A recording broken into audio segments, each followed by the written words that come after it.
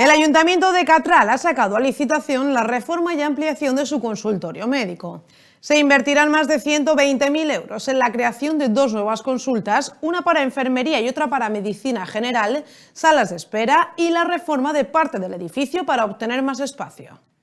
El Ayuntamiento de Catral ampliará el consultorio médico con el fin de ganar nuevas consultas y mejorar su funcionamiento interno. El consistorio ha sacado a licitación estos trabajos por un importe de más de 121.000 euros. Se crearán dos nuevas consultas ampliando el edificio actual 67 metros cuadrados y se redistribuirán espacios internos como la sala de reuniones que se convertirá en otra consulta. Las salas de archivo y la sala técnica se reformarán para crear un recinto para el material sucio y su posterior reciclaje Va a consistir en la ampliación de dos consultas médicas, más una reforma de la, de la administración, de la recepción y una ampliación del almacén eh, con el ánimo de, eh, durante estos últimos años ha habido un crecimiento en el municipio y bueno, creo que es una buena noticia de que por parte de una subvención que concedimos, que solicitamos en, marzo del 2022,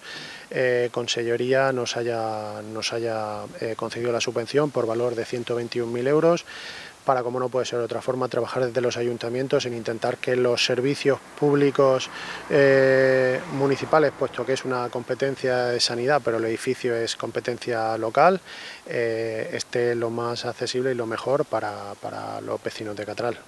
La zona de administración también se reformará pasando a ser independiente y se crea un espacio de almacenaje aprovechando las zonas de paso y la sala de preparación al parto, que se reubica.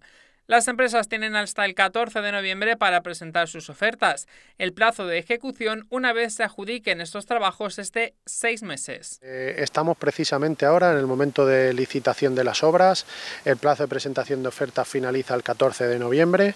y a partir de ahí pues, se creará la mesa de contratación eh, para eh, intentar de ahí a final de año que haya un adjudicatario que presente su documentación pertinente para poder empezar a principios de 2023 con, con las obras. El plazo de ejecución eh, son seis meses y existe la posibilidad por parte de las empresas de optar a una pequeña baja de reducción del periodo de ejecución con el ánimo de construirlo lo, antes posible siempre y cuando eh, eh, se, se pueda admitir el proyecto, claro.